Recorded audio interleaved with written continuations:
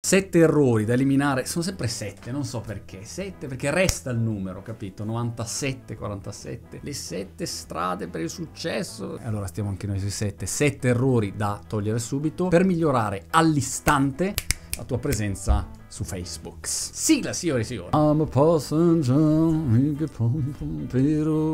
Errore numero uno, se usi un profilo al posto di una pagina. Se hai un business, se sei un'azienda, un professionista, è la pagina il posto giusto da usare su Facebook. Puoi usare la pubblicità, puoi usare le tue promozioni. È il posto che Facebook ti dice, guarda, usa sta roba qua per fare business. Errore numero due è elemosinare i like o le occhiate. Ma sapete quante volte me scrivono dicendo, oh Monti, appena hai tempo, metti un like a questa pagina qua, grazie. Ma grazie cosa, grazie cosa. Non è che costruisci una presenza seria così. L'elemosina lasciamola a qualcun altro. Errore numero 3, l'abbiamo detto tante volte, è pensare che Facebook sia gratuito. Facebook non è gratuito, è gratuito per giocare. Ma se vuoi fare una cosa seria, ci devi mettere del grano usando i loro strumenti promozionali. Uno strumento che segnalo in questo momento, non ho nulla a che fare con loro, ma sono bravi e peraltro il founder è italiano, quindi complimenti, è Ad Espresso, che hanno fatto anche una bella exit e ti danno la possibilità di fare test AB di varie pubblicità e ti danno un sacco di aiuti se devi sponsorizzare. Errore numero 4 è quello di copiare gli altri. Copiare inutile, imitare necessario, ble ble ble. Copiare smaccatamente il format di un'altra persona o di un'altra azienda è sempre controproducente. Devi trovare una tua strada, diversa, unica, rischiosa, magari all'inizio non piacerà, però cerchi di trovare la tua identità. Un concetto importante. Alcune persone sono brave in video,